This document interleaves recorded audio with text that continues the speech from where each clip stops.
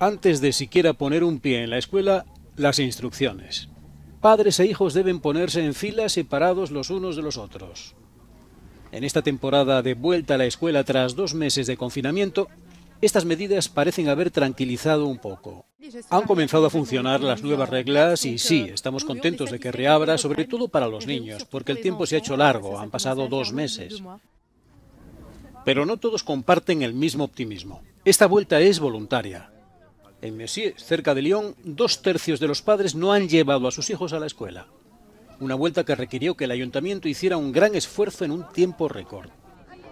Euh, Hemos podido encontrar lo que necesitábamos para organizar serenamente esta vuelta a la escuela, limitada y gradual.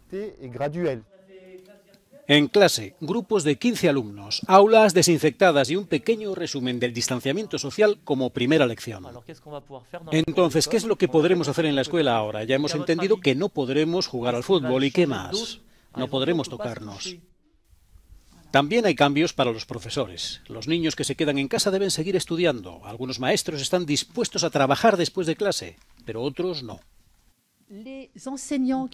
Los enseñantes que han dado clases virtuales durante el confinamiento continúan las clases virtuales y además en el aula. Tendrán que dirigirse a alumnos aquí y a los que estén en su casa.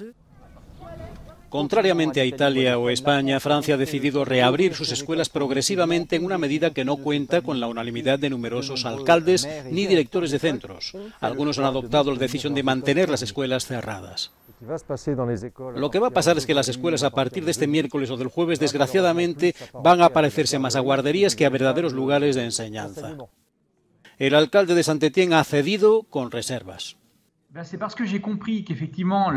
Lo que he visto es que las decisiones del ministro de Educación Nacional son más económicas que pedagógicas. Yo había propuesto aplazar la vuelta a la escuela a septiembre.